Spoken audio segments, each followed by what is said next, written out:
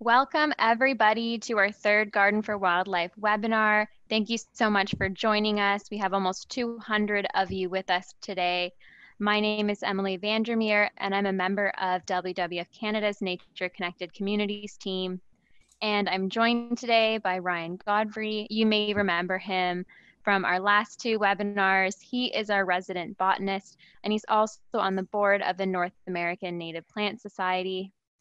And today he is going to be telling us how we can grow and connect habitat for wildlife in small spaces, whether that's our backyard, our porches, or rooftops.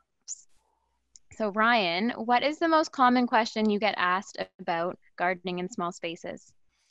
Well, thanks, Emily. Um, I would say the number one question is, will my plants survive over winter? And that's a great question and one that I will be answering later in this webinar. Awesome. Thank you so much. And before we dig in, I just wanted to remind everybody that our Garden for Wildlife webinar series is ongoing. We have three more episodes coming up. On Saturday, we'll be talking about how you can maintain your garden year round and help wildlife through the seasons. And you can register for those on our website. Just go to wwf.ca and you'll see Garden for Wildlife on our homepage. And if you missed our past episodes, uh, you can find them on our YouTube channel. So I've left the um, link down below, just youtube.com slash WWF Canada, and you will find a playlist for Garden for Wildlife. And I'd also like to just give a special thanks to our partners. WWF Canada has been working with Carolinian Canada the past few years on a program called In the Zone Gardens. This is a really awesome program. It brings together thousands of gardeners from across Southern Ontario's Carolinian Zone to help grow Canada's largest wildlife garden. And this is especially important in Southern Ontario where there are so many species at risk. And I'd also like to just extend a big thank you to Loblaw, who has been a champion of this program. And so today, what we are going to do, Ryan is going to walk you through all of this information on your container gardens, and then he is going to go live from his balcony to do a demo container garden planting. So it's going to be really cool. You're going to see firsthand from his camera. And after that, there'll be an opportunity to ask your questions. So you'll notice a Q&A bar um, where you can just type those in and we'll be sure to get to those um, at the end of the presentation. So Ryan, I'm going to pass this over to you. All right, thanks very much, Emily. Yeah, so here's what we're going to do. We'll start with a bit of context setting and background so we can all get into the right mindset of why we're talking about native plants and habitat in the context of a container garden. Um, then we're going to do a quick overview of assessing our garden conditions, which is of course important for any kind of garden, but definitely for a container garden as well. I'll go through some of the materials that I use on a day-to-day -day basis um, that make my life a lot easier when I'm doing my gardening. And then finally, uh, I'm not a landscape designer or architect by any means, but I do have some thoughts on design that I thought I would impart to you before we go outside for our live demo. All right, next slide, please. So, first, to start off, I always like to start with some definitions to get ourselves all in the right mindset. So to begin with, a garden is, to me, is any place where plants grow and people care for them. So it's a pretty broad definition and can certainly include a balcony.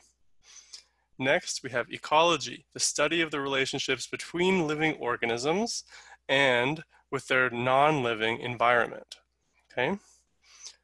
Ecological restoration is assisting in the recovery of degraded or destroyed ecosystems for the benefit of both humans and nature.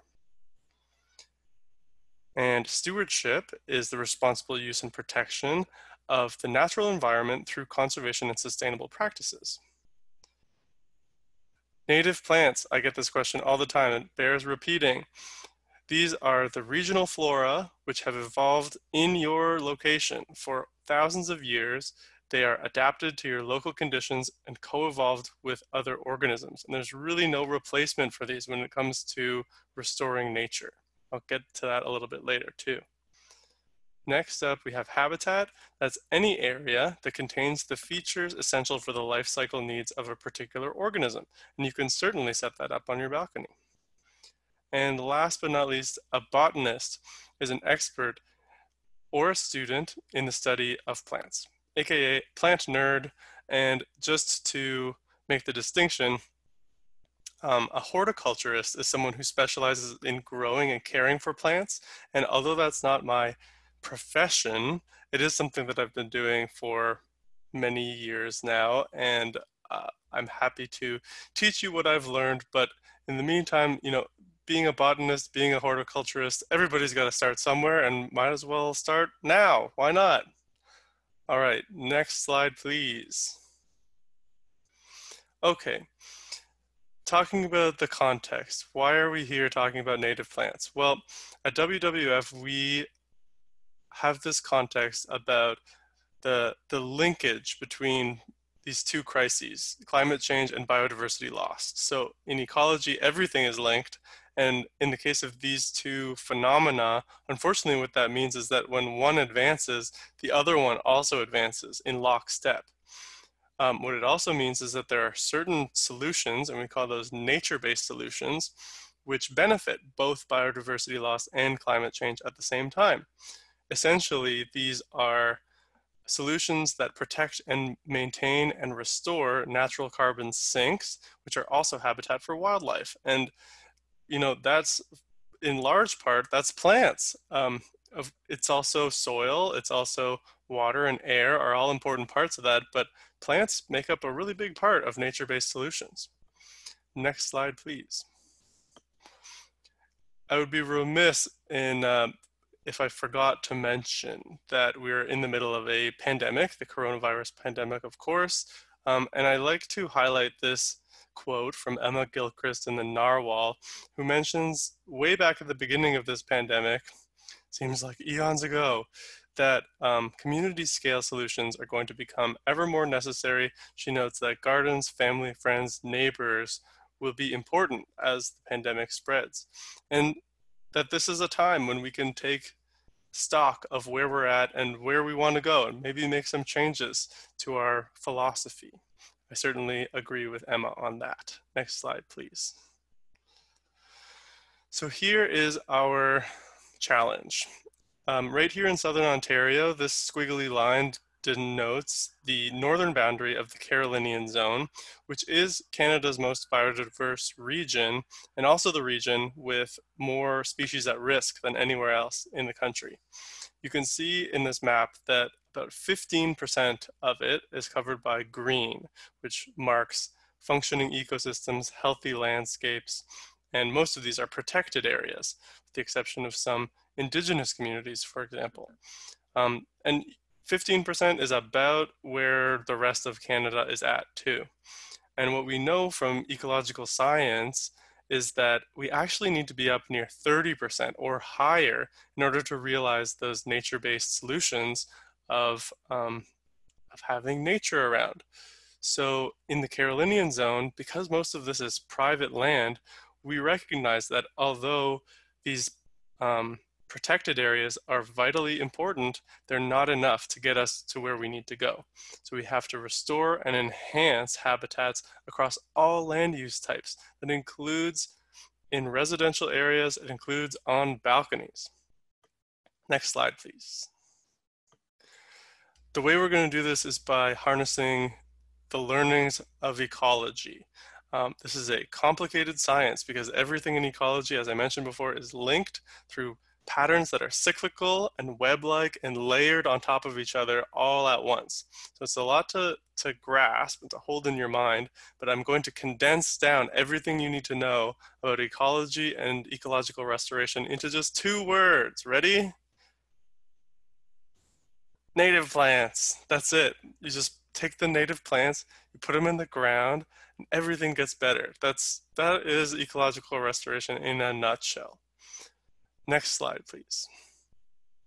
So here's what it typically looks like. This is a restored marsh um, called Rattray Marsh in Mississauga, Ontario. So this looks like a totally natural space, but it's actually been restored by people. So humans came in, removed invasive species, planted native species, stabilized the watercourse edges, um, created habitat for specific species, and are continuing to continually maintain this habitat. So um, that is what ecological restoration typically looks like, and we can definitely do that. Next slide, please. When we start to get into the human dominated landscape, we see some, some features like this. Now we've got vehicles, we've got high rises, we've got some, some structures.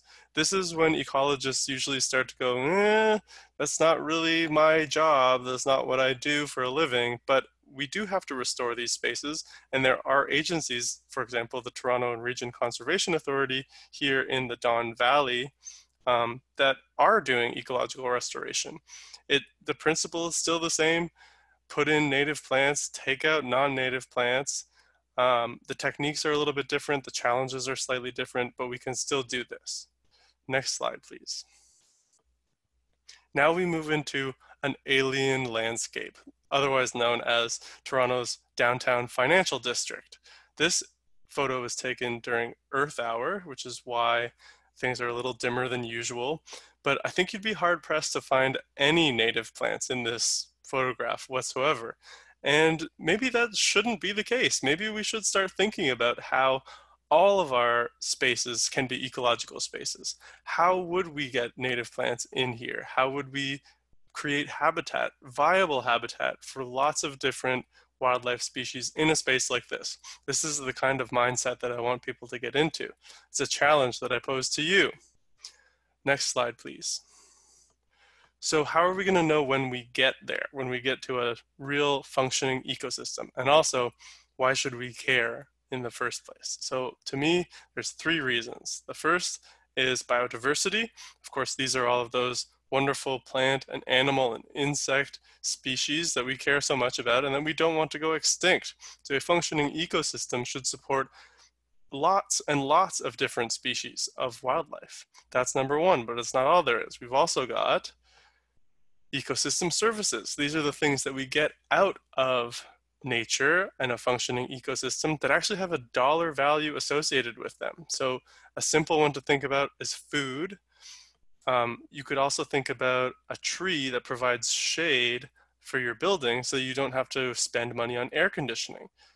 Going a little bit broader, you could think about um, a forest, an urban ecosystem that filters the air and the water. That's something that is has a cash value associated with it that otherwise we'd have to do with some kind of filtration plant. And then um, you can also think about human well-being and mental health, which have a dollar value associated with them as well. Finally, connectivity is a really important concept in ecology as individual habitat patches need to be connected to each other in order to function. But in the human dominated landscape, ecology has a connective capacity to sort of join people and neighbors and communities uh, all together for the shared interest in wildlife. So it's, it's kind of a cool cross-cultural feature there. And finally, what this all sort of boils down to is when you have a green space, you should be asking yourself, what does that green space do? How much biodiversity is it supporting? Lots of species or only a few? How many ecosystem services are you getting at this? Is it just one layer or many? And who is connecting with this garden space? Is it just a few people or is it being shared broadly? The answer should be lots and lots and lots of things are going on all at once. Um, and if it's not, then I challenge you to think deeper about how your garden or green space can do all of these things. Next slide, please. So this is just to summarize all of the wonderful things that your green space can do. And yes, even including your balcony. Um, and I know that maybe for a balcony or a small space, it seems like uh, like it's not going to be very significant overall um, compared to someone who has a gigantic uh, farm field that where they're going to plant thousands of trees. And although it may be true that a balcony garden is not going to win awards for most carbon sequestered, um, it does still matter because people will interact with your balcony when you take pictures of it and share them on social media, as I do very often, or when you talk about your garden, or when you share seeds with people. It's changing people's mindset about what an urban space can be. And so it's still very, very important. So let's go to the next slide, please. Containers, okay. So why, why grow in containers? Um, the answer for me is because I didn't have any other place to grow. And I think that's true for a lot of other people going back really, really far. So we have here in this top left here is an illustration of what people think the hanging gardens of Babylon may have looked like thousands of years ago. And uh, of course, this was you know you could you could say that this was a myth but i'm sure it didn't come out of absolutely nowhere. The concept must have been floating around that it's possible to to grow plants in an urban space. Um, and in so doing you can bring food nearby greenery and wildlife too. Um, of course bonsai here's another example is is another fascinating way that you could grow trees indoors. Um, and of course the, the the japanese culture became very fascinated with this and, and are experts at creating these little miniature natural scenes in a pot. Um, here in the bottom left is an example of a succulent container that I built when I sort of recreated um, a desert habitat in my home. And I'm able to grow lots and lots of different plants that um, thrive and flower and reproduce in this little container. Um, and finally, here on the right, I wanted to show you, um, this is St. Leonard's by the Sea, where I had a chance to visit um, last year. And I noticed that they didn't have a whole lot of soil because they live right on the, the um, shore, but they had all these paved areas with containers everywhere and vines growing up. And there were plants just just about in every space that I could see. And I thought it was so cool that together as a community, the folks in this um, area had decided that they're going to grow plants anyways in containers, even if they don't have any soil. So those are all different reasons that you can that you can do this. Next slide, please. Um, okay, so let's talk about assessing conditions. This is critically important. Um, and we'll do this again when we go outside. I'll go over this with you. But I wanted to share with you here something that I did that is kind of cool and that anyone, whether you have a balcony space or just any kind of outdoor garden space, you can and probably should do this. So this is called a light diagram. And what I did here is, this was last year, April 28th, I went outside and recorded the first time that light um, shone on my balcony. So I have a west facing balcony, so that didn't happen until the afternoon. And then in increments of two hours at one o'clock, three o'clock, five o'clock, and seven o'clock, I came out and drew the path of the light. And so you can see, you know, the first light came in this way, and then I had arrows going sort of this way, and then they came in this way. And where they overlap, you can see the, the brightest area. So by the end of the day, I had figured out that at that time of year in early spring, um, this little wedge shape here is getting the most light between four and six hours, whereas this section here is only getting between two to four hours, and this section over here in the corner gets um, less than two hours of sun per day. And that puts me, by the way, in the realm of full shade to just on the bottom end of sunny conditions. Um, and that, that matches out with the type of plants that I've been able to grow on my balcony too. Um, and then down here, I just wanted to show you, um, I played around with some ideas of putting shade cloth up on my balcony to create an even shadier condition and also to block some wind. And so I, I was able to, based on this original diagram, figure out if I put sh shade on the south side, I would get this kind of pattern. And if I put it on the north side, I would get this kind of pattern. Um, so just some cool things that you can do. Next slide, please. Um, these are the materials that I use on a daily basis. Uh, you don't need to go quite this far, but I find all of these things really, really useful. So in the summertime, you will need to water your containers and I use a hose that I hook up to my kitchen sink. I run it outside and that way I can water stuff really easily without going back and forth, back and forth with the um, watering can. Although of course you can do a watering can as well. Um, I'll tell you more about the containers that I use when we go outside. Um, my garden knife is invaluable for um, cutting plants in half if I want to separate them or just digging a hole. Uh, my secateurs are great for chopping um, dried uh, plant material from last year, if that's something that I'm trying to do, um, or pruning as well. I use these little tools that I know they kind of look like kids tools for a sandbox, but I have to say they work really well in my little containers. And oh, I don't know what I would do with a giant shovel up here anyway. Um, so zip ties and or or I use hemp twine sometimes to make a trellis or something like that. Bamboo rods. Oh my gosh, I'll show you what I do with my bamboo rods. Um, and then I'll tell you a bit about tarps and mulch when we get into year-round maintenance. So next slide, please. All right. So figuring out the right plants was a big challenge for me. Over the course of five years, I've learned that I can grow some things and I can't grow other things. Um, and sort of at first there was a bit of trial and error. I was just kind of trying to grow all the native plants that I could and some of them were not working. But I figured out that there was a pattern that some the plants that were doing well were those that grow in shallow soil ecosystems. Um, so the first one that I really noticed was wild columbine. And I looked up the ecology of where does wild columbine live, and it turns out it lives on cliffs, okay?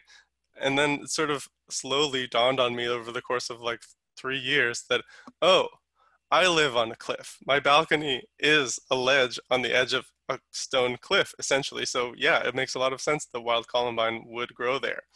Um, there are other shallow soil ecosystems that I've visited right here in Ontario, including shorelines. Here's a, a lovely camas lily growing in a crack right on the shoreline. Alvars, which are these fascinating ecosystems that sometimes they look like a parking lot. There's just pavement going straight across with cracks in them and plants growing in the little cracks. Sometimes you get soil, like in this picture, up to um, 15 or 30 centimeters deep and plants growing in there as well that are specialized to very, very shallow soil ecosystems. And both of these would be suitable for um, a sunny balcony, um, south facing or getting approaching six hours of light per day. Next slide shows some ecosystems that get less light. So a shallow forest, for example, like I've seen up on the Bruce Peninsula, there are tons and tons. This is an incredibly biodiverse ecosystem that's living on like this much soil, including there's huge sugar maples and beech, and they're just um, not bothered by the fact that there's not a whole lot of soil there. So what a great system to take um, inspiration from in building a container garden. And then here we have 16 Mile Creek in Oakville um, with its clay bluffs um, off, the, off to the side of the, the water course here. And you can see there are plants growing in here and up at the tops that are able to withstand this intensely eroded um, environment and, and still persist and grow and flower and all of that. So another great uh, place to draw inspiration from. Next slide, please.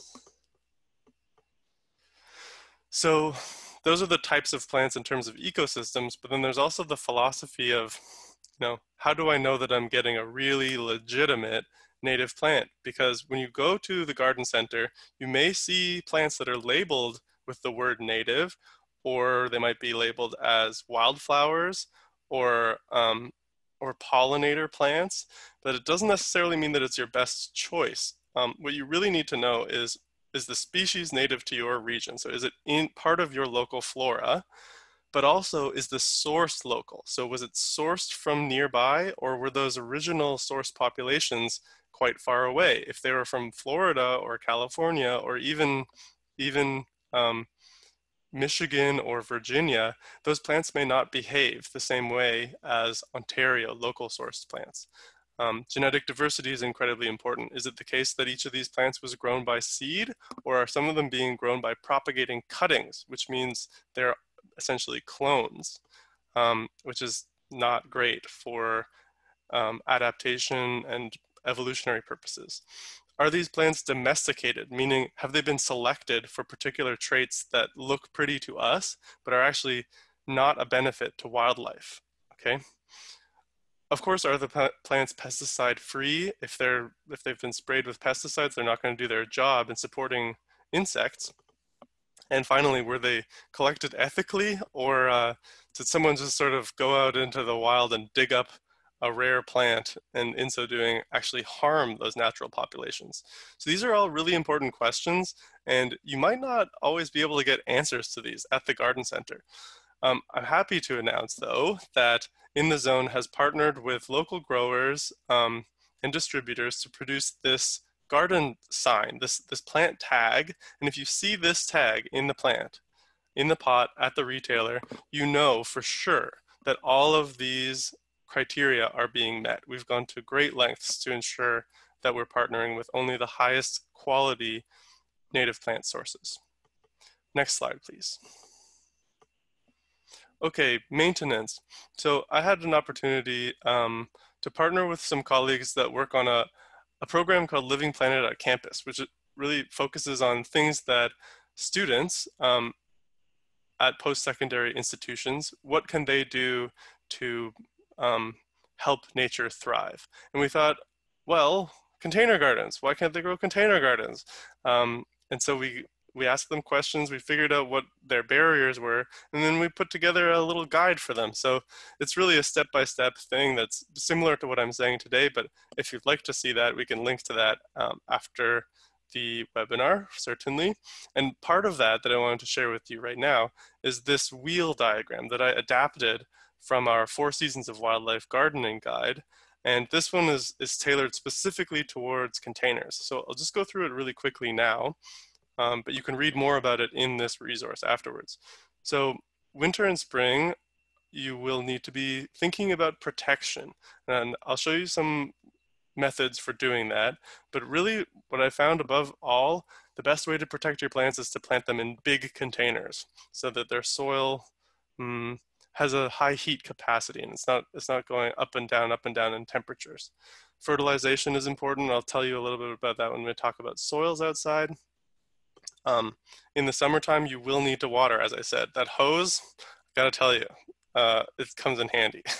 Um, weeding, I do actually need to do a little bit of weeding in my containers, but I always leave little seedlings alone until I know exactly what they are, because I've also gotten free bonus native plants that show up in my containers sometimes, and what a tragedy that it would be if I accidentally pulled those, um, thinking they were weeds. Fall is my favorite time um, in the balcony because my plants are still flowering. I'm still getting pollinators. The temperature is cooling down to a nice um, degree. And I get to collect and scatter seeds, which is one of my favorite things to do. And I also like to steal um, yard waste containers from the side of the road so that I can put a little bit of leaf mulch into each of my containers to, uh, to help protect over winter again. All right, next slide, please. gonna wrap this stuff up and then we'll get outside. So a little bit on design. Um, one of the first things that I looked up when I got into container gardening was um, some of these horticulture guides that had this term of including spillers, fillers, and thrillers in your containers. I love that. It, it works, it sticks in your head. So consider that. For native plants, the spillers are really um, vines and also plants in the pea family that will sort of crawl over your containers. Um, fillers and thrillers, upon more thought, I decided I don't like that terminology because it implies that some plants are just there to fill space, which is not true. They're there, they're special, they're important, they're beautiful in their own right. So I've now decided to split this into basically shorter plants and taller plants, and it's nice to have both so that you have a bit of variability. Um, bloom time is a really important thing to think about when you're planning your container garden. Here in Southern Ontario, and I would say across most of Canada, the majority of plants bloom between June and September. So if you've got a diversity of species, you probably will have that season covered. So focus on finding some plants that bloom early. So strawberries, violets, prairie smoke, um, those are great early blooming species. You'll see my prairie smoke is in bloom right now. Um, and in the fall, oh my goodness, if you're not growing asters and goldenrods, you're really missing out on like two entire months of beautiful flower displays. And you really, really should get in on that as soon as possible. Um, leaf shape and texture is an important thing to consider. I have a pretty windy balcony, so I found that broad-leaved plants and thin-leaved plants don't do as well as plants with um, featherier or more fern-like leaves or plants with tougher, waxy, or hairy leaves. Those tend to do better, but again, it's nice to have variation in there. Um, aroma is a big thing for me. I love smelling my plants and touching them, so I put lots and lots of different smelly plants in my containers, including New England aster, sweetgrass, Virginia mountain mint, nodding wild onion, some of the giant hyssops. I personally like yellow giant hyssop, which has a, a milder aroma. And maybe even white cedar. I, I might go for that this year. I might, I might give it a try. Why not?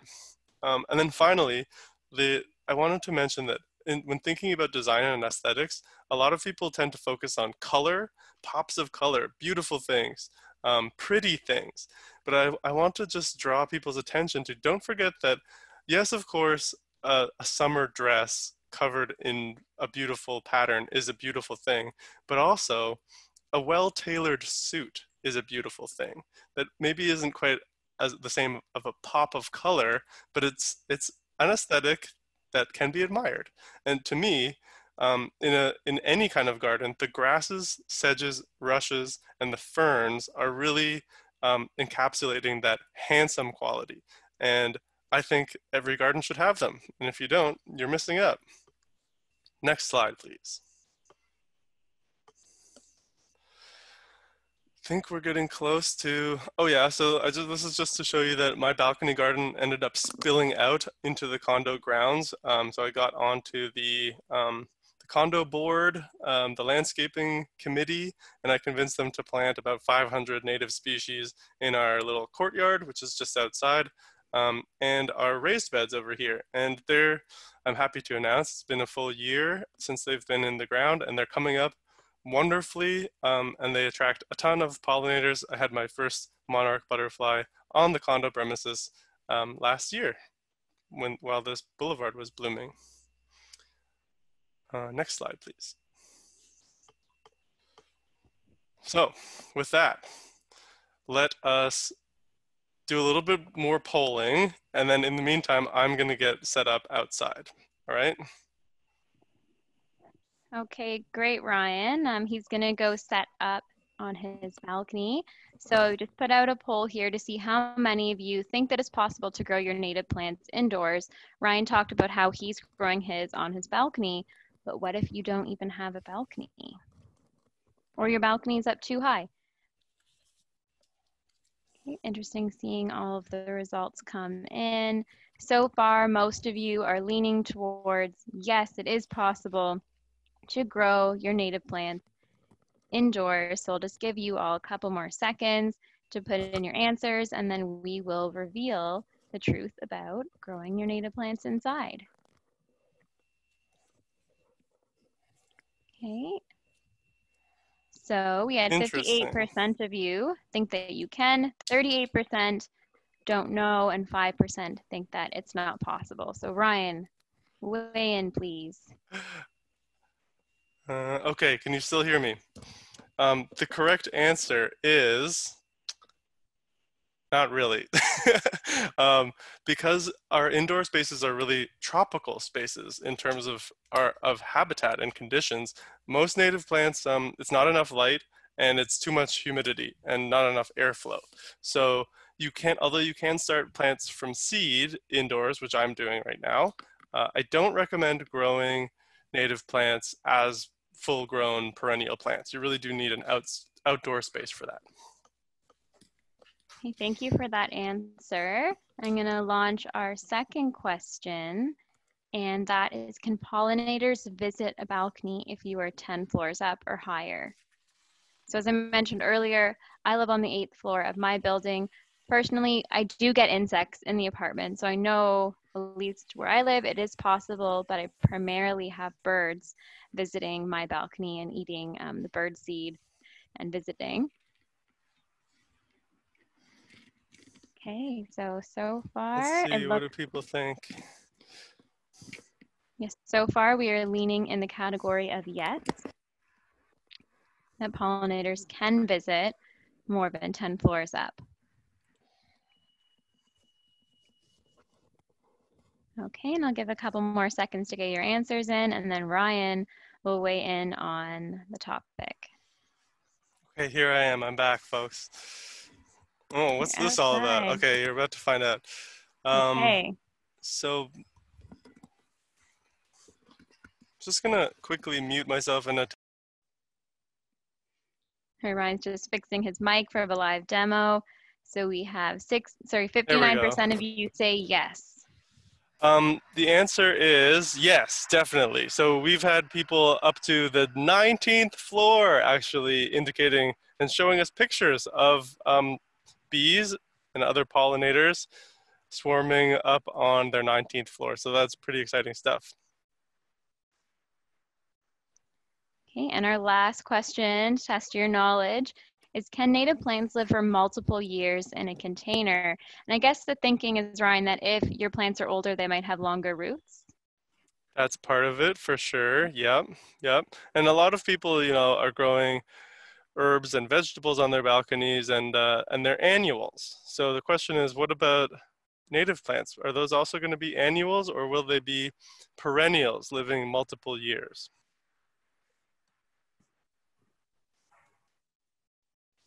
Okay, so we're leaning heavily in the yes category right now, with more than 70% of you saying yes, that you can grow native plants for multiple years in a container. So I'll give you another few seconds to get your answers in if you want to vote.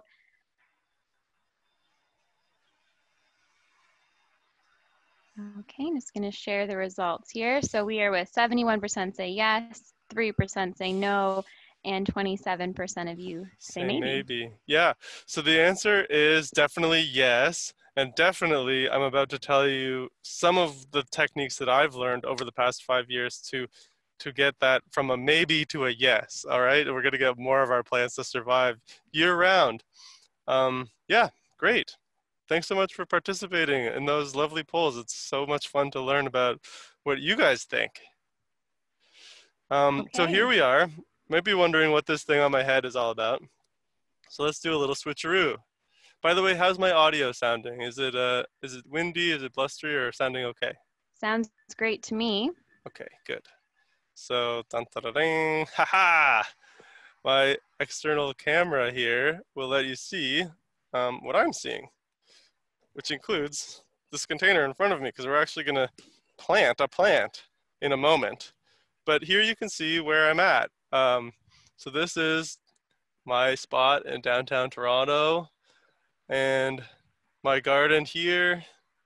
I've got a bunch of these larger containers. Um, and then here's where my little storage shed over here where I've got materials that I'll be using to plant out even more stuff later on in the season. Um, and then I've got these great benches. So I'm sitting on one of these and here's the other. I built them with my mom who is in the audience right now. Hi mom. Um, and they're storage benches. So I, I store my materials and uh, my substrate and seeds and things under there. Um, okay, so I wanted to start off by doing that assessment of conditions. So as you can see, so this is west here and this is north. So um, sun is coming in now in the in the afternoon, but definitely the brightest spot on my balcony is right here. I get the most light right about here. Um, and then this area over here is quite shady. So I make use of that actually with some of my containers. Um, water, I said water is a really important thing. Um, if you do get rain on your balcony, use it. So I also, again, from this corner all the way over to here, I get when it rains, I get some water in on here. So those containers out there, I've put my plants that need a little bit of extra water and moisture out in that direction. Um, sun, water, soil. I'll talk about that when we get to this container here and start planting.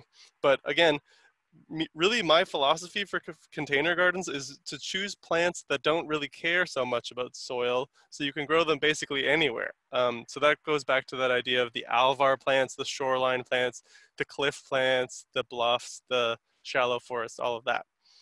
Um, wind was another thing to consider. So yeah i do west facing i get weather here sometimes. I get crazy weather. and so you'll see that most of my plants do have um, more narrow leaves or divided leaves. So they can kind of, they're not going to get um, ripped to shreds in the wind, which is something that I noticed um, was happening in previous years. Or if like this violet, they are a little bit um, more broadleaf, they're low. They're low to into the container. The other thing I do against wind is to plant my containers down a little bit. So you can see I have a lip on the edge of my container and that creates a little protective barrier. Hopefully you can see that. Um, and then I also mentioned that it's important to think about fauna uh, and connections to other creatures. So you may get birds, you may get squirrels or raccoons, depending on where you're at um, on your balcony. I don't get mammals really. I did have a red-tailed hawk visit me once, which was very exciting. Um, but just something to keep in mind. How are creatures going to access your your balcony? And here, by the way, you can maybe see my linden trees out there that are just starting to leaf out. And um, those are flowering trees that um, are visited by bees. And that's basically my bee ladder that gets my bees up here um, during the summertime. So that's that's your sort of basic assessing conditions, apart from doing that light diagram, which all of you should be doing. Um, as that's your homework, folks. Okay. Um, so I want to do a little demo and uh, show you how to plant a plant. Um, and well, so I've already filled this container. So I'll tell you how I did that. Um, this is actually a small container for me. Um, probably this one, I'm not going to consider this to be a year-round container. Um, I like to stay in this size realm, which is about 40 centimeters across by 40 centimeters deep. I find that that works the best. By the way, I haven't mentioned this yet, but apart from this container here and this, this container here, all of these, one, two, three, four, five containers, plus these little guys here, um, I didn't plant those this year. Those are plants that came back from last year. They overwintered, um, and I didn't even do any protection. I didn't put any kind of a tarp on them. Put a little bit of mulch, um, that leaf mulch that I mentioned. I take from the side of the road, but otherwise I did absolutely nothing. I I've only just planted out these two containers. The rest of them are just freebies that came from last year. I think that's pretty cool. um, this container, as I say, it's on the borderline um, in terms of size, but it's what I've got right now. So we're gonna do it. The technique is still the same. Um, all your pots must have drainage at the bottom. So I'm not gonna flip this one upside down to show you, but it does have holes at the bottom. So when you water it, the water will go all the way through. Um, Secondly, filling it. So I use just uh, regular potting soil here. This is, you know, a combination of peat moss and perlite. You can see these little white things are called perlite, which is a, a mineral that improves um, drainage quality. Um, and I do mix in a small amount of solid fertilizer into the top third of my container. So I use worm castings or sometimes I will use composted manure to do this. And in a container this size, I just used one sort of heaping handful. So kind of this size. Uh, in a larger container like these ones, I would use um, about three of those handfuls. Yeah. So then once you get, once you get um, all filled up to here, you're gonna dig a hole for your plant. So here's, here's our pot and here's our wonderful in the zone sticker. This plant, by the way, is a um, Penstemon digitalis. So that is called foxglove beard tongue. Okay, and you can see this one, I got a bonus plant here. So there's the one main one here and then the little baby over here. Pretty cool. Um, so you want to dig a hole that's about the size of this pot. So I'm going to put this one right here and dig to get in there. Just moving the soil over to the side and also sort of pressing it up against the side because I don't want the roots touching right on the side of the container. Although they can, in this case, I'd like to avoid it. Okay, let's see, will that fit in there? Just about right. Will be fine. So that's pretty good. Now we have to get this plant out of here. So the way that I do that is I put one hand over top. So I'm holding it with one hand and then I flip it upside down.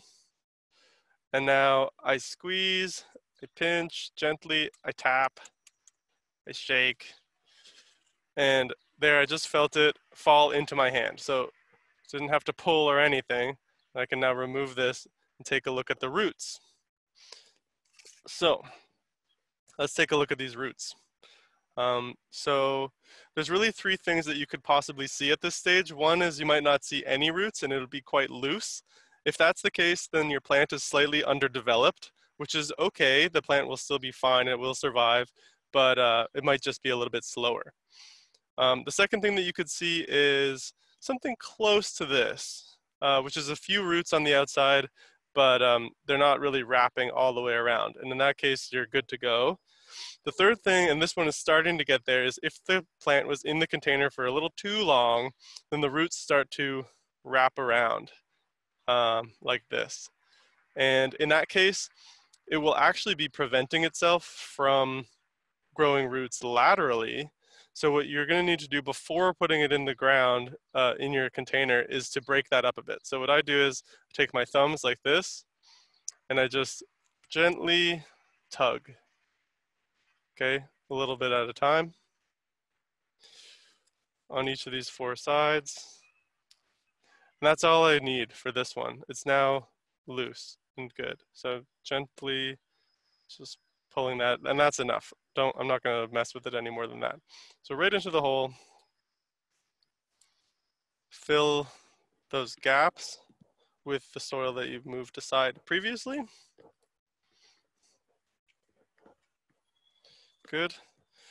And now I like to get my hands around it like this and press, press down with some force. Okay. And then the last thing that you do, you're not done until you water the plant. So you need to water your plant whenever you transplant them. Um, and that's so that the roots will get connected in with the soil underneath. Um, and if, if you have dry roots, that is the number one reason that your plants are going to die because dry roots mean essentially it's like getting a bubble in your blood system. Um, that's what can happen. The bubbles can get inside of their vascular system, which transports water, and that is not good. So we're gonna water thoroughly here. I have, by the way, this little guy. Um, is a little transplant of sweetgrass that I took from my other container over there. Just took my gardening knife, tore out a little piece of it because it was starting to spread like crazy. Stuck it in here and uh, and it's gonna do just fine. It's gonna start and create its whole a whole plant of its own. All right, so that's that. So easy. Now in this container, uh, you could fit probably two or three more plants like that, but I don't have any more, so that's that's the end of that for now. Okay, so we're done with that demo. Um, how about Emily? Have we got any questions coming in? Should we take one? Yeah, we do have some questions coming in. I have one from Jess who says that they're living in downtown Toronto. And if you have any recommendations for nurseries or garden centers that sell native plants. Yes, I'll just flip this back around to me here. That's a great question. So if you want to get those highest quality native plants available, um, you, you have a few options. So one is in downtown Toronto. Um, unfortunately, because we're in the middle of a coronavirus pandemic, a lot of these places are closed, but let's just pretend that that wasn't happening for a minute. Um, there is uh, the Evergreen Brickworks Garden Market. They sell good native plants, very high quality. Um, Fiesta Farms up near Wychwood Barns also does some um, high quality native plants for sure. Um, we also have, so our native plants with those tags are going to be rolling out in um, Loblaws garden centers across the GTA and Southern Ontario. Um, that's happening soon. so stay tuned for, to learn more about exactly where and when that's happening. I promise it's happening soon, soon, people. Um, very exciting stuff. Uh, so those are great options, and there are, there are a couple of others available, but that's a good place to get started for sure. Great, and now we have a question from Mike. who says that his sister has some farmland with forests attached where they have May apples and trilliums, and he wants to know if he can transplant a few of those to his property or to his garden. Ah, okay. Transplanting from the adjacent natural area. Well, okay. Here's the thing. So if it's if it's public land, you really should be getting permits before you dig. Um, now, hi. In certain cases, hmm, I don't know what I can really say here without getting myself in trouble. So I would say leave it. Leave it where it is and please buy native plants from a reputable source to bolster those populations. Those plants may spread onto your property and once they're on your property, they're really yours to do with um, as you wish. But um, please keep in mind the health and vigor of those wild populations. The last thing that we want to do in this program is um, endanger wild populations so that we can benefit in our personal gardens. That's not what this is about. We're trying to grow biodiversity. So please, please, please, by all means, keep that in mind whenever you're thinking about um, wild plant sources. All right, Ryan. Mike um, added a clarification that the plants are on his sister's property, so not the public. Okay, property. so then you just need permission from your sister, technically. And then what I would say is, when I was a, I used to do seed collecting um, from wild sources with permits, and we would never take more than 10% of the entire population. And for seeds, we would also never take more than 10% of a plant. Um, so leaving lots of seeds in the wild to keep that population healthy. So keep that in mind. If so, for that reason, I would say if there's fewer than 10 plants, then please leave it alone. Um, and if there's, you know, hundreds of plants, maybe you could consider taking a small number. And probably the best time to do that, not that I'm encouraging you to do that, but it would be the fall. okay, next question, please. okay, awesome. Can you tell us anything about rooftop gardens and beehives? Oh, beehives. Okay, so first of all, okay, so rooftop gardens, absolutely. Um, I would take the shallow soil alvar model, and basically I would try to grow an alvar if I had a rooftop. Um, I would do it in shallow soil and gravel, and I would grow a heck of a ton of prairie smoke and wild columbine and um, harebell and wild strawberry and all kinds of things. I would just go nuts and it would be fantastic. Um, in terms of beehives, let's talk about honeybees. Okay, honeybees, folks, um, are not native species. So they're basically little flying domesticated cows that produce honey and wax for us, which are wonderful resources that I love and, and use all the time for various different things, but it's not the same thing as a wild bee. And for that reason, although honeybees are declining for a variety of reasons, they're not endangered in the same way that wild pollinators are endangered by habitat loss, okay? So when we're talking about the native plant garden, I have had honeybees up here and I'm cool with that. I, I saw honeybees and bumblebees sharing the same flower, getting their nectar, doing their thing cool, wonderful, great. Um, but I'm all about biodiversity, and so I want to support hundreds of species of bees, not just one. Um, and so personally, beekeeping is not my thing that I'm into. And if you are a beekeeper, or if you're thinking about becoming a beekeeper, I would highly encourage that you think about the other bees too. The other, there's 360 species of wild bees that live in Toronto alone um, over 500 species across Canada. And um, I would like you to think about those species too, and how are you going to be supporting those? Great. And this is a really interesting question. If you are somebody who moves around a few every few months, say you're in school, and you have your container gardens, can you take them with you? Are they portable? That's such a great question uh, because I specifically do use containers that have handles on them. You may have noticed that. So I'll flip my camera back around here so you can see. Um, boom. So these ones here, can you see this container here with the, the handles? So I can lift that up. And my cloth containers also have handles on them. They're quite heavy, um, and I use that mostly for uh, shifting them from one place to another. But what I can do is lift them gently onto a dolly and then I can um, move them that way into the elevator. I have taken my garden for a walk once. I put it in a wagon and brought it up to the park and let people um, make of that what they will. and uh, yeah, so you can definitely do it in that way for sure. Um, do do just keep in mind the weight of the whole thing, and when you're moving it, maybe consider um, leaving it to dry out a little bit because the weight will decrease significantly um, for transit, and then you can water it when you get to your new spot. But yes, it's definitely possible to do. Great question.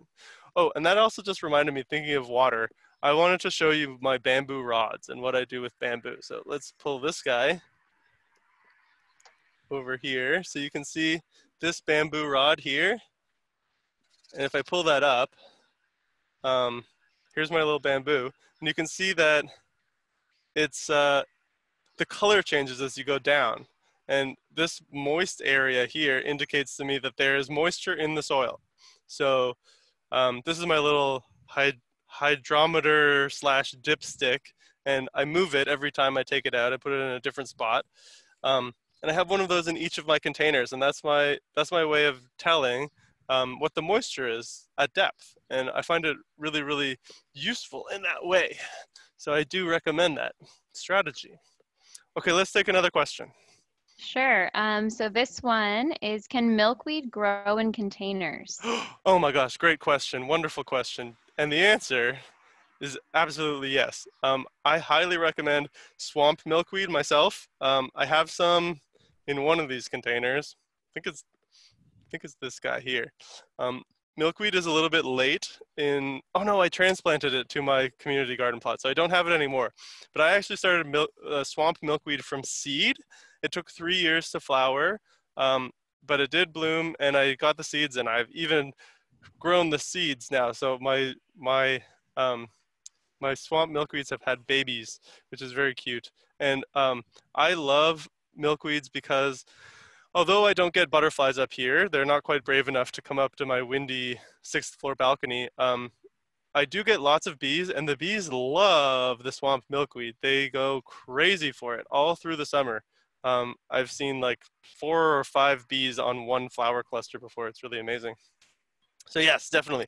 I think that uh, common milkweed would also do, but it's got those broad leaves. So keep in mind if you've got um, windy conditions. And I do think you could do butterfly milkweed as well. It's a little bit of a fiddlier plant, but um, you could give it a go. It likes dry conditions.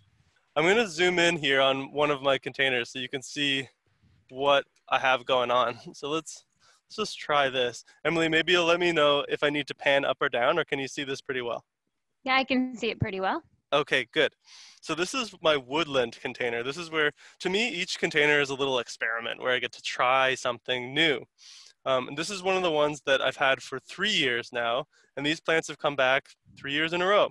So I've got zigzag goldenrod here. This is the leftover stem from last year because some insects will either uh, burrow into the stems and overwinter like that, or they'll lay eggs in the stems and then the the young will hatch in the new year in the spring and come out. So I always like to leave the stems. Um, so that's my zigzag over here, and it actually spread. It spread down to here. It spread over here. So cool, wonderful. I love that. Um, here's my woodland strawberry, which I got fruits from last year, which is amazing. It looks like it's gonna flower pretty soon. And it also spread. So I started here and it put out a little runner that ended up over in this area that's pretty cool. This is my plantain leaf sedge, which I love and is doing so well and flowering like the dickens. Um, so this is a really cool thing that starts going in early spring and you get these really cool little clusters that you can watch as they telescope out and then the female flowers are, are down here in the axils of this sort of barbershop pole of a flower stalk. Um, I did put a witch hazel which it looks like is actually about to break bud. How fascinating. That's the first time I've seen that. I'm really glad to see that. I didn't know if a shrub would do well in this container, but I put it in and I gave it a try and, and there we go. It seems to be doing well. Um, I also want to show you, if you can see uh, in this area, there are a whole bunch of little seedlings. Do you see that? little seedlings popping up here. And I, so I, as I said, I like to sprinkle seeds in the fall. I do a variety of things and I just kind of leave it up to natural selection to figure out who's going to come up and who's going to survive. Um, those could be weedy things, but they could also be interesting things. So I just leave them and wait until I can figure out what they are exactly. I also have seedlings coming up in this container and lots of seedlings coming up in this container here. Wow, tons and tons, which is great. Um, last thing about, oh, right, my, uh, this is my large leafed aster that I just put in last year and it's coming up, so glad to see that. And even a, a Canada anemone. Lovely. Um, so woodland container, again, I'm trying to mimic nature. Um, and so this is my sort of shallow forest system. The, uh, the, the woodland plants that live in deep, rich soils like, uh, oh, hepatica and bloodroot and wild ginger, although I love them, um, they did not like this scenario. And they did not survive for me, which is when I kind of tried to um, shift my focus towards plants that live in shallow forest ecosystems. But um, the thing to keep in mind about a forest is in the springtime, it's quite sunny because the canopy hasn't closed yet and um, you know the trees are still bare of leaves. So that's why i put it in the sunny spot.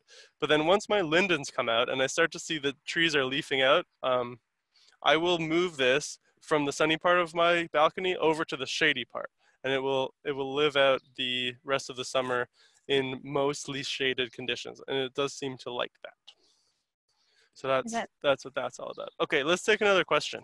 So we're actually hit three o'clock. So I'm gonna oh, put up some of just the resources that people can access, and okay, then we can go back to taking more questions for anyone who wants to stay on the line. Okay, wonderful, wonderful. Let's do that. Okay, let's just get back into the presentation. Um, so do you want to speak to any well, of just, these, Ryan? This is yeah. So I could go really, really quickly for folks. This is what I used to do covering my containers. Um, it's uh, that's a tarp. I basically put everything under there, jam it with leaves underneath. That works well. You can do that. And if you're just starting out, I do recommend it.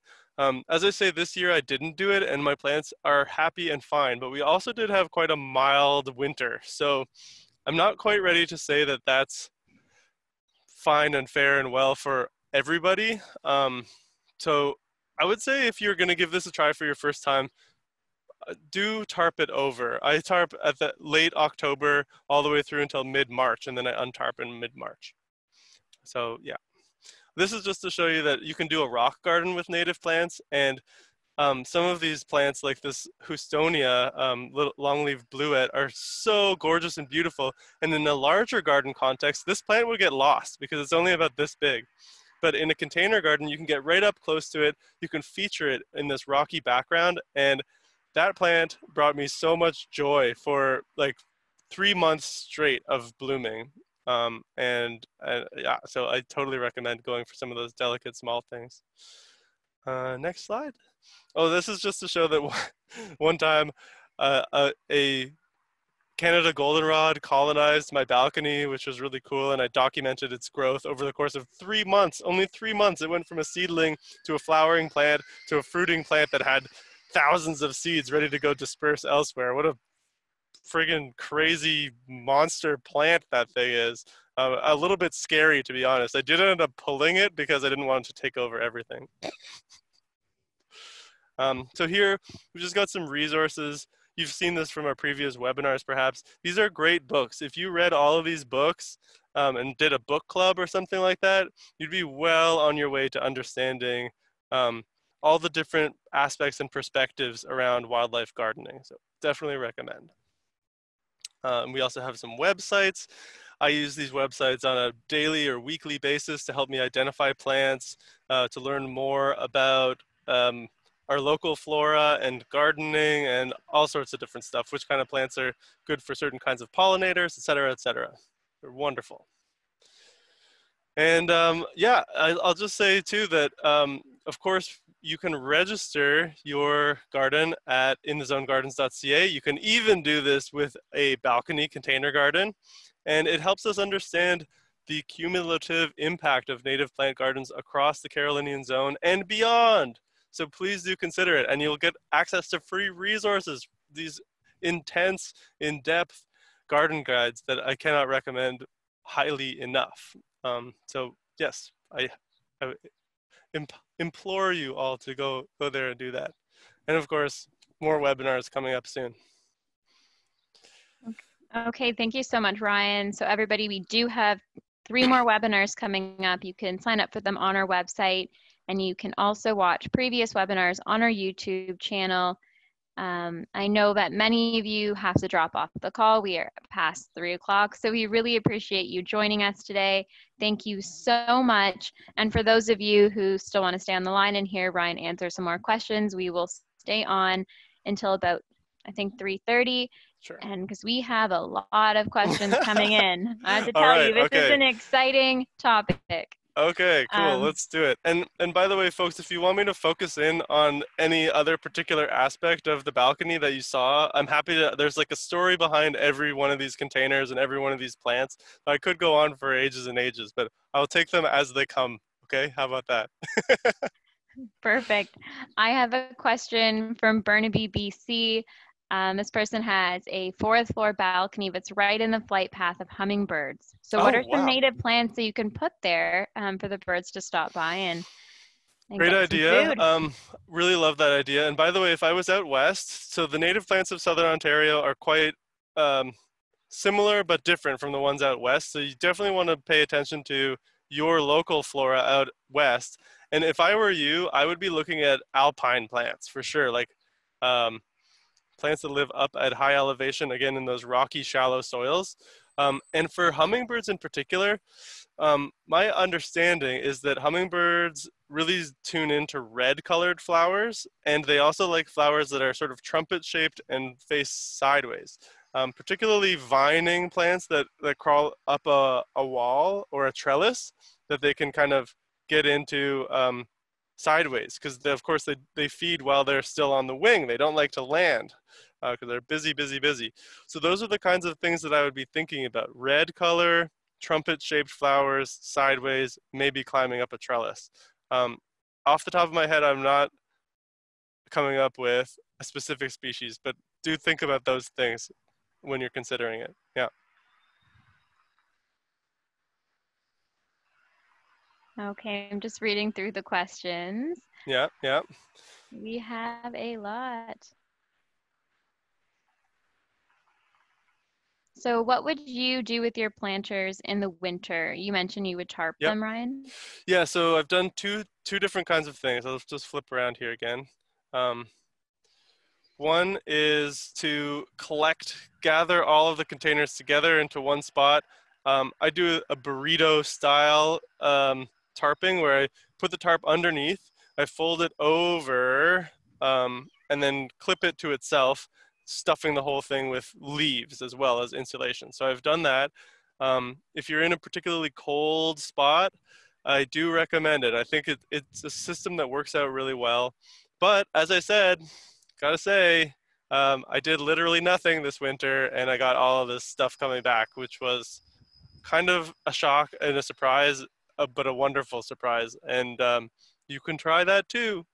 Um, if you do the larger containers, you'll have better success with that, I promise. Great. And now we have a question about wind and native plants. Yep. Um, so this person has plants they're growing on their balcony. It's pretty windy, and um, the plants are starting to look a little bit limp. Is that because of the wind? It could be. It could be. Yeah. Some plants that are less stiff, particularly you know plants that are adapted to a shoreline or a cliff ecosystem, they can handle wind. That's part of their natural conditions. But if they're meadow plants or woodland plants, probably strong winds are not in their general repertoire. So they may not have adaptations to deal with that. What you can do, and Emily, if you would go backwards in slides, a couple of slides, I'll show you the wind uh, screen that I put up. Um, if you go back, back, back, back, back. One more. There you go. Okay, so here, uh, one more forward. Uh, sorry. Right um, here, okay, so if you can see this black um, screen that I put up, So I had this up for about three years and it worked pretty well. Um, it's actually landscaping fabric that I just wove in between these railings here. Um, and that worked pretty darn well um, for about three years. And then the wind started to sort of blow holes in it and it got pretty ratty looking. So I took it down. And since then, I've kind of just embraced the fact that I have windy conditions. So again, I plant my plants low in the containers. I do lots of ground covery sort of plants, lower um, growing things.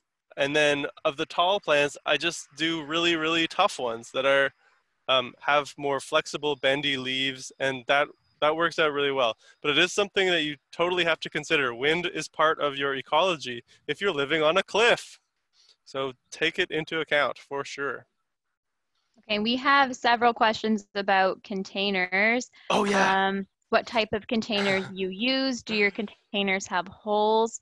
Um, yeah, do containers yeah. get too hot for plants if they're made of plastic? Great question. And I did mean to cover this earlier and I didn't. So thank you for reminding me. Um, my containers that I've grown accustomed to that I really, really love are made out of this fabric material um, that actually is derived from recycled plastic water bottles. So the the brand they're called Root Pouch, and they're not paying me to say this, but I have put them. Um, they're going to be available on our WWF Canada uh, online store very soon to be delivered directly to your house. Um, so if you check back on that website, you'll be able to order these containers in this exact size, and then you can follow my container gardening guide, and you'll have everything you need to get going. Um, these don't have holes in them, remarkably, because it's a fabric. Um, the water sort of just transpires out the side, and I find it's really, it just works really darn well. Um, otherwise, I wouldn't have gotten so many of them. so I do recommend that. Other materials that would work, you can do plastic. Um, I wouldn't worry too much about them heating up. Uh, they will get hot. That that definitely does happen, and you'll have to water them, but that's going to have to happen anyways. Yes, you do need them to have drainage for sure. These guys are plastic. This is a kind of compostable plastic, which is working pretty well for me. Materials that I would avoid are metals, uh, because plant roots do not like to be in contact with metal. I would avoid uh, clay pots like terracotta because those will crack in the winter when the when your soil expands. Um, you'll crack your pots. So any kind of glazed clay, I would stay away from.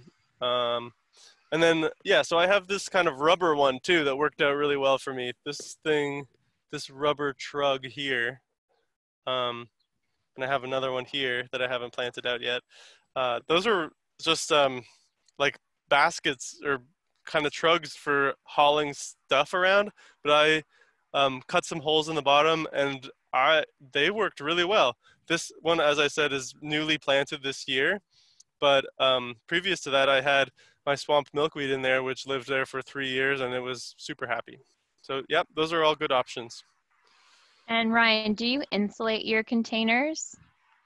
Um, insulate in in so in the in the growing season, no, they're just getting the full brunt of wind and sun and everything, um, which I think actually helps them, my plants grow quickly. Um, and then in the winter time, if I'm tarping down, I do fill the spaces in between with um, with those uh, the stuff from the yard waste bag, so the leaves and uh, twigs and any uh, clippings from the garden. I'll just jam them all in there, and that's my natural insulation for the winter. Yeah.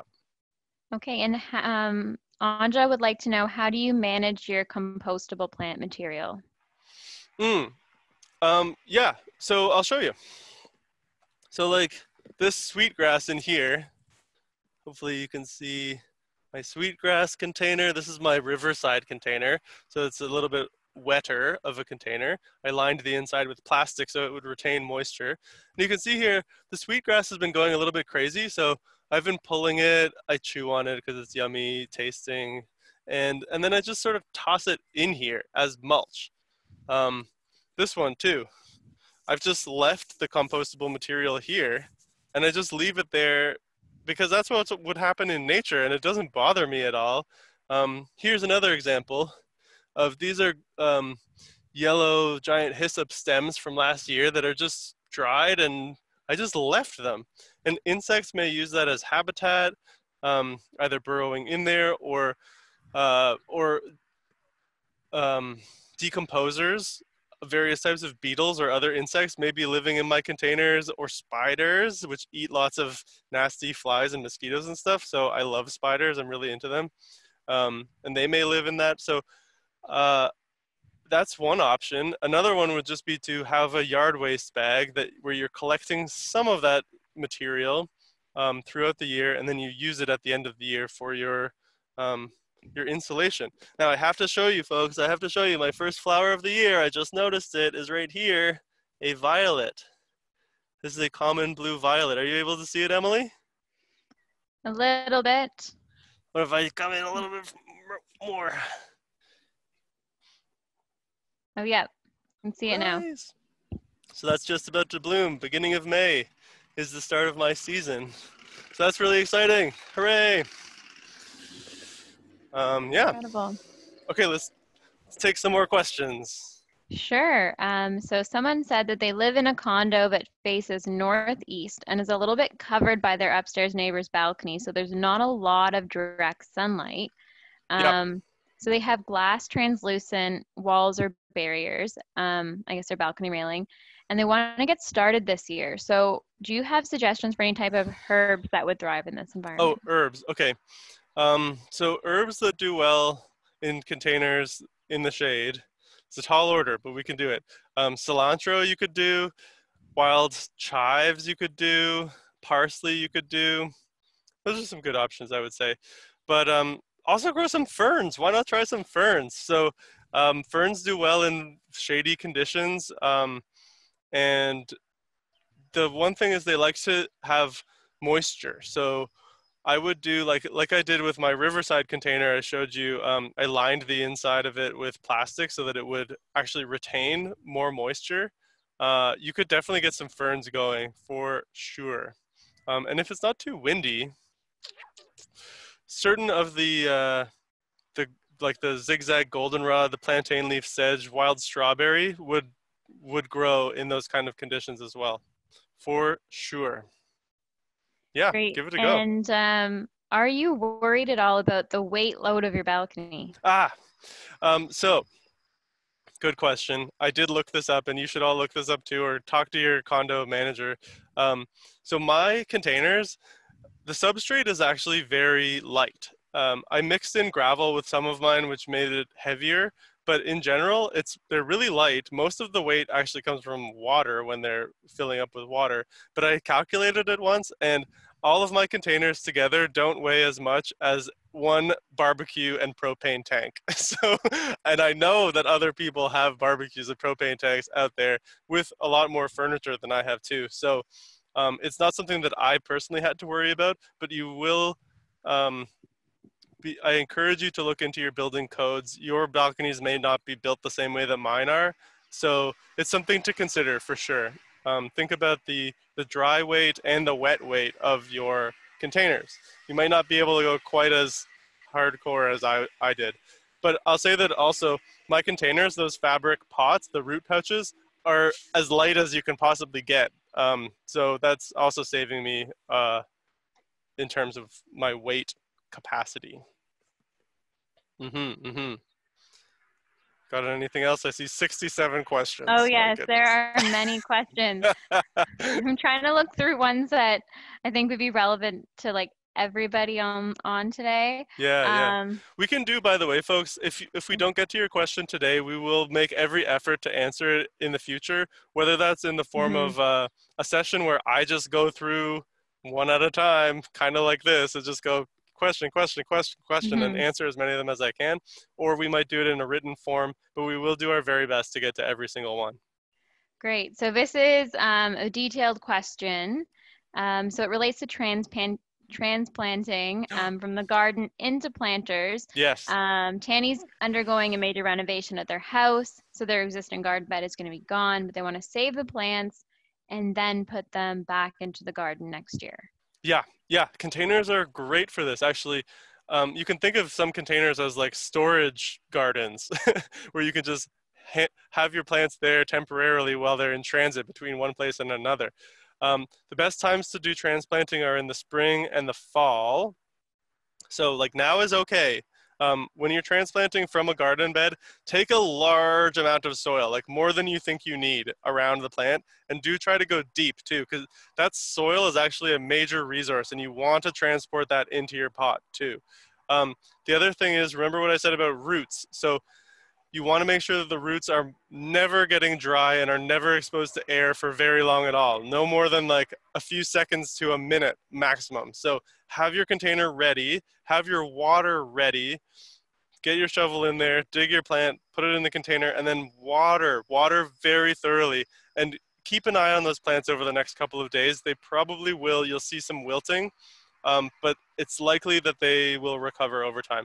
Of course, it depends on the species and conditions and various things, but that's that's what I would recommend if you're trying to do something like that. Great. Um, and we've talked a bit about balconies and shade. If you have a balcony that's exposed or you're using a rooftop and there's a lot of sun, how do you yeah. protect your plants and trees? I wouldn't. I would just grow plants that love to be in the sun. So those alvar plants, if you've never visited an alvar, and by the way, alvars are a globally rare ecosystem, but 75% of all alvars in the world are right here in Ontario. So plants like this, uh, oh, I'll show you my prairie smoke, which are abundant on alvars. Um, they just get hammered with light all day, every day and that's their niche. That's how they survive. They just they're into it. This is my prairie smoke flowers. They're very adorable. Yeah ryan do you want to switch back to your headset? Maybe everyone's seeing the slides right now so your oh. your view is really little so i can stop sharing if you're ready to switch back oh yeah sure sure camera. sure yep. There, there we go. go. And i will just pin that. Okay here's my my prairie smoke again if you can see that. Hopefully, maybe. Anyway, so that's one of those plants. Wild columbine again, another one of those. Um, lots of different species that just love to be hammered by light all the time.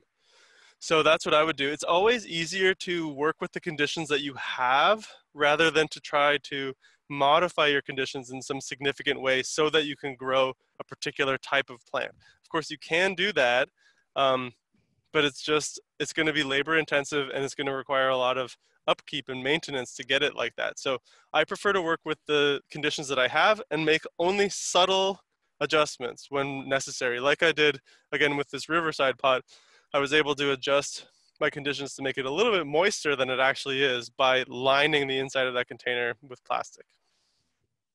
Cool. So we have a question from Doris.